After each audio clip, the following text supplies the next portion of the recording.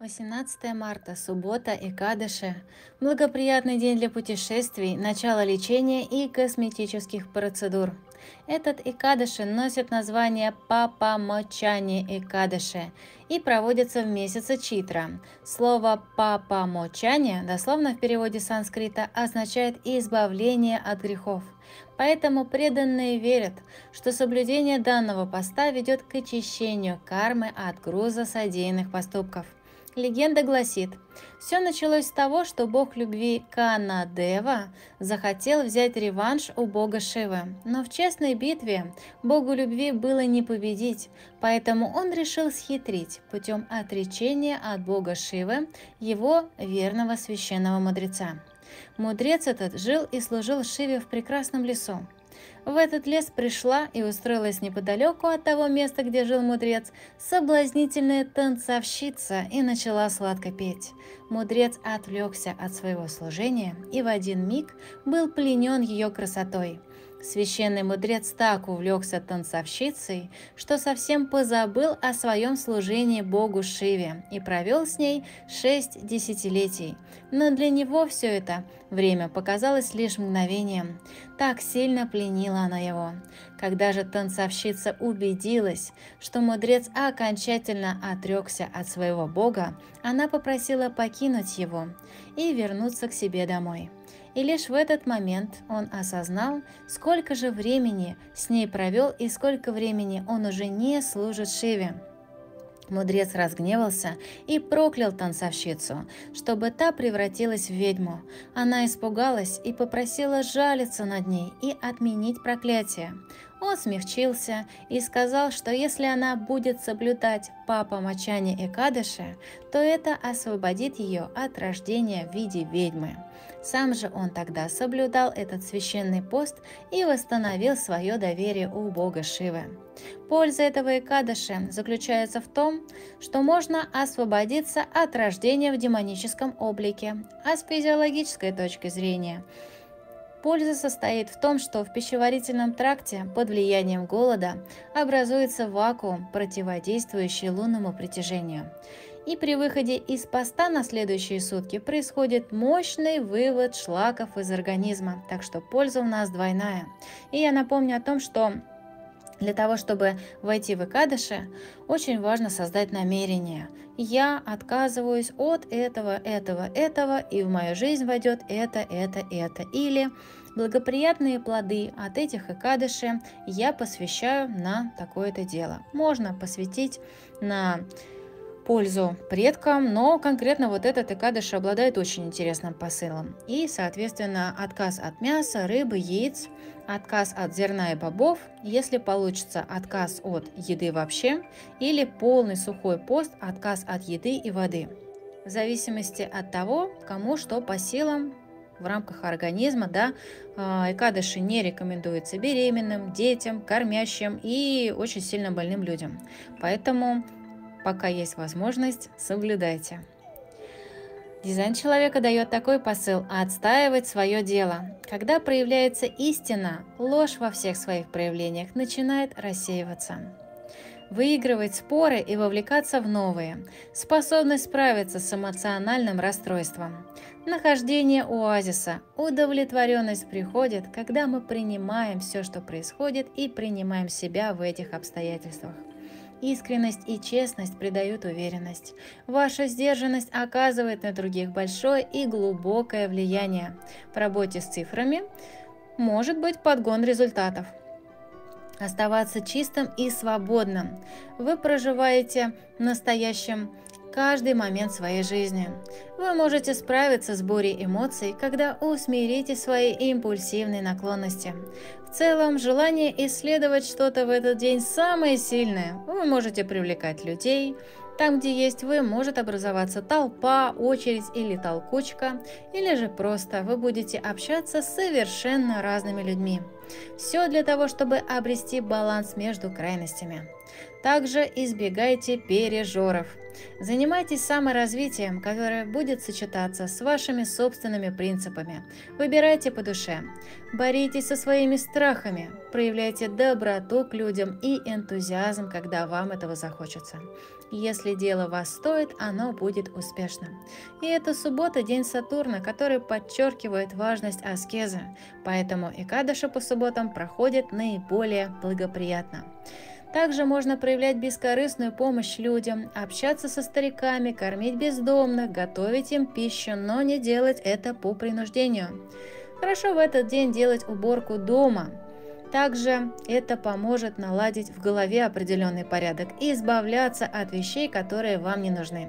Можно собирать мусор возле озера или какого-то водоема. Это очень хорошо чистит карму.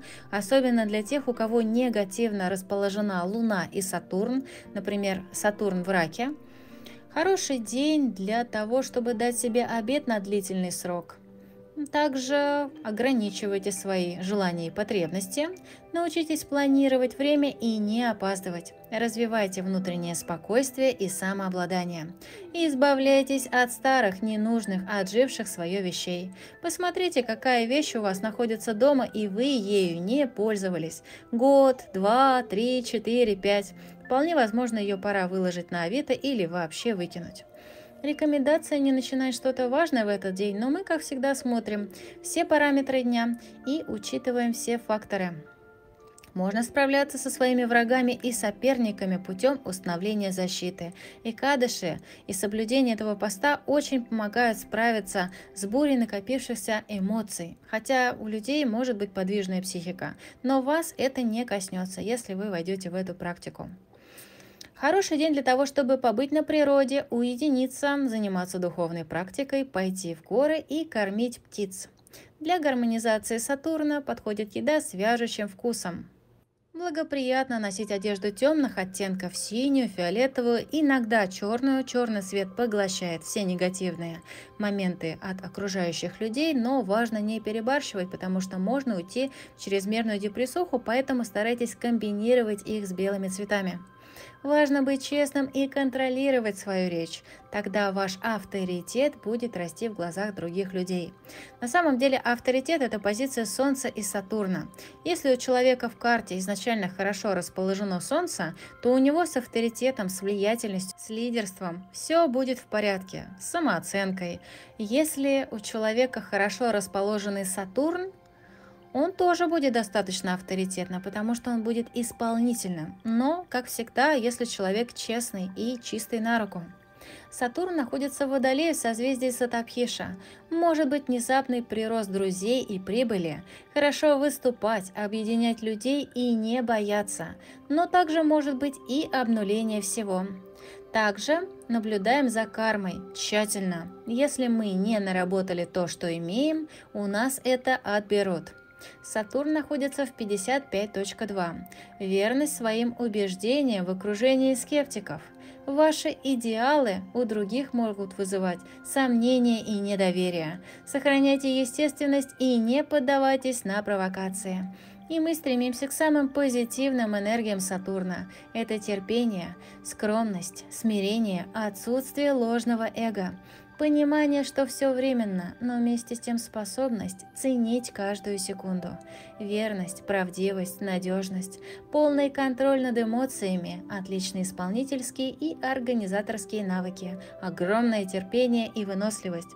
Также по субботам можно начать такую практику, когда перед тем, как заснуть, мы блокнотик выписываем дата, сегодня такое-то число, что меня сделало счастливее, и мы описываем какие-нибудь мелочи, которые могут быть на первый взгляд абсолютно неважными, но надо найти хотя бы 10 таких мелочей, которые нас действительно сделали счастливым. Кто-то уступил место в очереди, парковка освободилась, помыли, что-то постирали. Ну, напишите что-то, пусть самое мелкое, но вам будет приятно от того, что день прожит не зря. И 26-е лунные сутки, чем они примечательны? Может быть провоцирование конфликтов и не занимайтесь чем-то, что требует напряжения большой активности. И самое главное, что для этого дня может быть важно, не говорите о своих желаниях слух, не говорите о своих желаниях другим людям, потому что могут вот эти негативные энергии присоседятся, и ваше желание не осуществится. Поэтому, если вас будут провоцировать, постарайтесь помолчать. И также можно сделать практику на 26 лунные сутки, которая, как обычно, прикреплена к видео.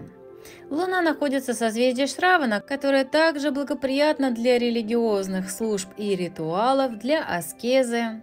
Следим за ушами, потому что если мы что-то делаем неправильно, у нас начнут болеть уши, и наблюдаем за тем, что именно мы слышим.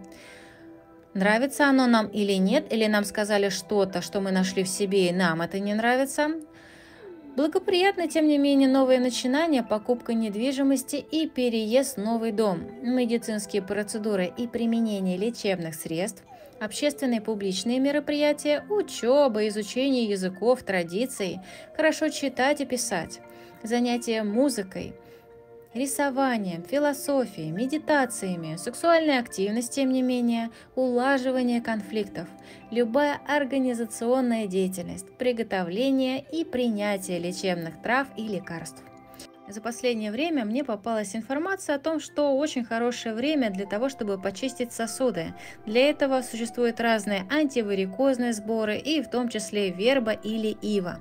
Это очень хорошо помогает укрепить наше состояние благоприятны телефонные переговоры, консультирование, путешествия и выбор нового имени. Настрой на день я освобождаюсь от всех горестей и печалей, накопившихся в моей душе.